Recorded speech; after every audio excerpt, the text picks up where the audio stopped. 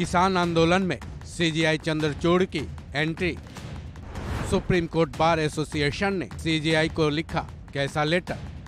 CGI Chandrachud ने क्या सुनाया? बड़ा फैसला।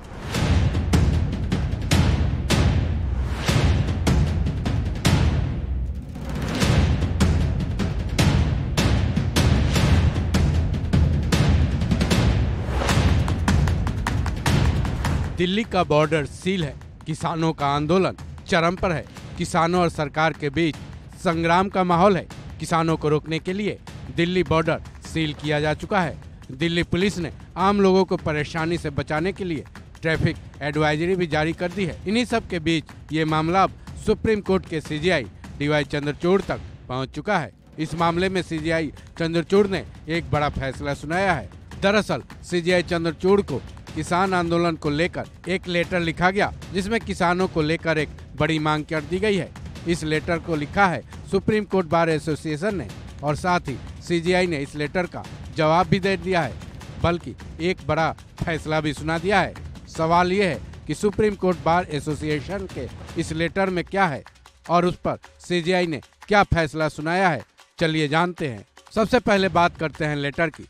दरअसल सुप्रीम कोर्ट बार एसोसिएशन के अध्यक्ष अधीश अग्रवाल ने जो लेटर सीजीआई चंद्रचूड़ को लिखा है, उसमें ये मांग की गई है कि किसानों के इस आंदोलन में जो किसान गलत उद्देश्यों से शामिल हुए हैं, उनके खिलाफ स्वतः संज्ञान लेकर कार्रवाई सीजीआई की तरफ़ से की जाए। साथ ही ये भी अनुरोध किया गया है कि इस आंदोलन की वजह से जो भी वकील आज कोर्ट में पेश नहीं हो पाए हैं, उनके खिलाफ कोई प्रतिकूल आदेश पारित न किया जाए।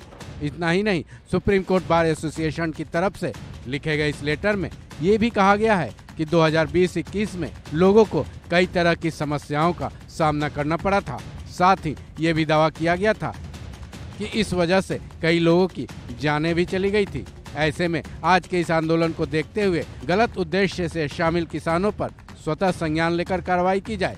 कुल मिलाकर सुप्रीम कोर्ट बार एसोसिएशन की तरफ़ से ये मांग की गई है कि जो आंदोलन की आड़ में उपद्रवी इसमें शामिल है, उन पर कार्रवाई की जाए। साथ ही देश के कोर्ट्स को ये आदेश भी दिया जाए कि किसान आंदोलन की वजह से जो भी वकील कोर्ट्स में पेश नहीं हो पाए हैं, उनके केसेस में कोई भी फैसला ना सुनाया जाए। जिसके बाद सुप्रीम कोर्ट के सीजीआई डीवाई चंद्रचूड़ ने तुरंत एक्शन लिया।